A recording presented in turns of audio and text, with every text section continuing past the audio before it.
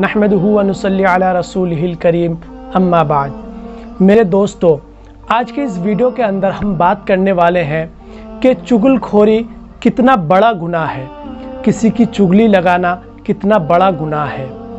हदीस पाक के अंदर आता है, हुजूर पाक सल्लल्लाहु अलैहि वसल्लम ने इरशाद फरमाया कि चुगलखोर जन्नत में दाखिल नहीं होगा। मेरे दोस्तों, मैं आपको एक छोटा सा वाक़ सुनाता हूँ।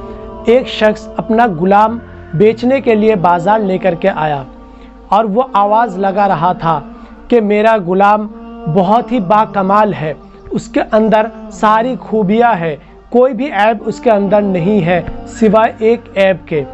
वो ऐब क्या है? वो है कि कभी कभी वो किसी की चुगली कर देता है कभी कभी किसी की चुगली लगाता है।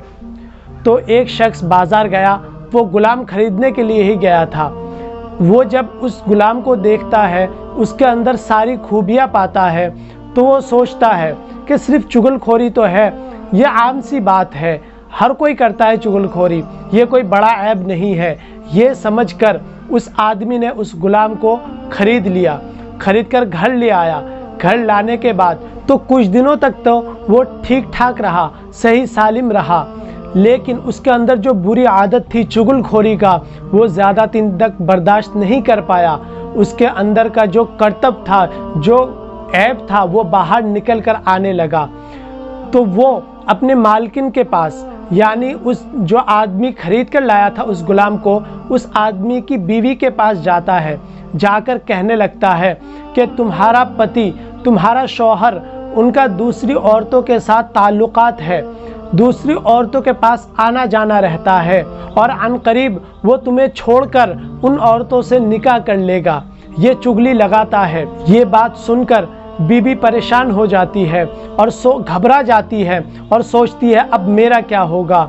इसी घबराहट का फ़ायदा उठाकर ये गुलाम जो है, ये कहता है कि मैं इसका इलाज जानता हूँ, मैं इसका तरीका जानता हूँ, बस आपको कुछ नहीं करना है।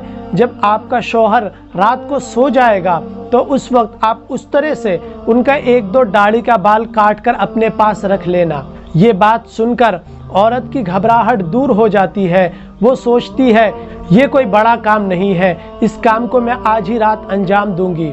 इधर गुलाम वापस आता है आने के बाद अपने मालिक से जो उसको ख़रीद कर लाया था, उससे आकर कहता है कि, मेरे आका, आपकी जो बीवी है, उनका दूसरे मर्दों के साथ उठना बैठना है, दूसरे मर्दों के साथ नाजायज़ ताल्लुक़ात है।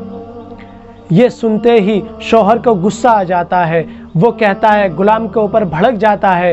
कहता है, ये नहीं हो सकता कि मेरी बीवी के अखलाक अच्छे हैं। मेरी बीवी मुझसे बहुत ज़्यादा मोहब्बत करती है। ये कभी भी ऐसा काम नहीं कर सकती। ये सुनकर गुलाम कहता है तो फिर ठीक है, आज रात आप देख लेना, वो आपको कत्ल करने के लिए आएगी। ये सोचकर शोहर भी थोड़ा सा परेशान हो जाता है, मालिक थोड़ा सा परेशान हो जाता है और वो रात को सोता तो है, लेकिन झूठ मूठ का सोता है, सिर्फ़ आँखें बंद करके सो जाता है। और उधर बीवी अपना काम करने के लिए, दाढ़ी काटने के लिए उस तरह लेकर आती है।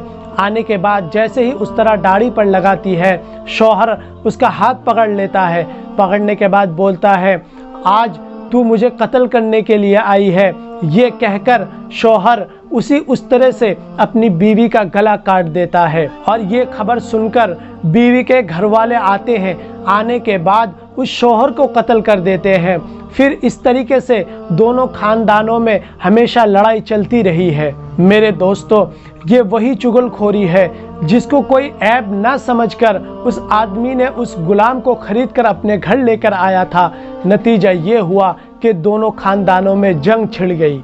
मेरे दोस्तों, इसीलिए शरीयत के अंदर चुगलखोरी हराम है। मेरे आका ने इरशाद फरमाया है कि चुगलखोर कभी भी जन्नत में दाखिल नहीं होगा।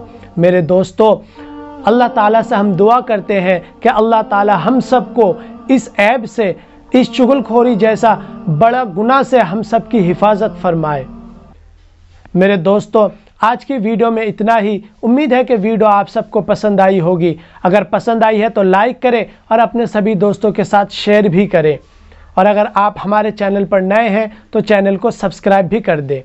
तो इन मिलते हैं अगली वीडियो में। तब तक के लिए खुदा हाफिज़।